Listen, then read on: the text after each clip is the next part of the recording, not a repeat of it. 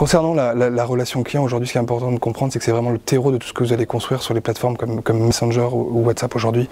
Euh, par le biais de cette, de, cette relation client, vous allez développer des nouvelles expériences, vous allez comprendre ce que vos utilisateurs cherchent vraiment sur, nos, plateformes et pouvoir ensuite développer des, des features ad hoc correspondant aux utilisateurs et qui les aident vraiment euh, à, améliorer la relation avec votre marque.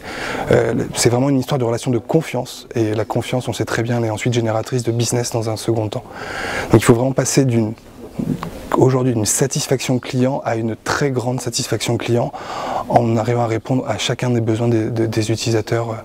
euh, quels qu'ils soient et quels que soient leurs besoins. Ce qui est important, c'est que vous arrivez aujourd'hui à les identifier grâce à, grâce à Messenger, à les clusteriser ensuite pour pouvoir aussi leur proposer ensuite de nouveaux services, de nouveaux services